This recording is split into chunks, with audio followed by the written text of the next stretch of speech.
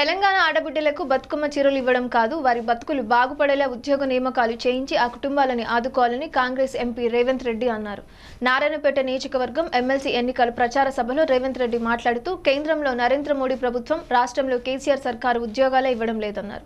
మంత్రాలకు చింతకాయలు రాలవని ఓటు ఆయుధాన్ని ఎలా ఉపయోగించుకోవాలో నిరుద్యోగ యువతకు తెలుసన్నారు ఇంటికి ఇంటికి ఇంటికి తీసుకుంటాం వంశీ చంద్రెడ్డి గారు ఇవాళ హైదరాబాద్ రంగారెడ్డి మహబూబ్ నగర్ మూడు జిల్లాలలో నలభై రెండు శాసనసభలలో ఉన్న పట్టభద్రులందరూ కూడా నలభై మూడు శాసనసభలలో ఉన్న పట్టభద్రులందరూ కూడా ఈ ఎనభై ఏళ్ళలో నరేంద్ర మోడీ చేతిలో నయవంచనకు గురైన వాళ్ళు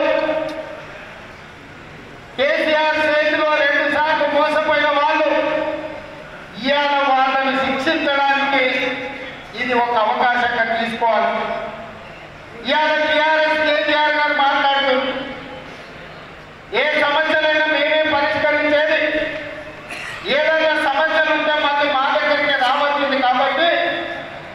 టీఆర్ఎస్ పార్టీకి వేయమని అడుగుతున్నాడు.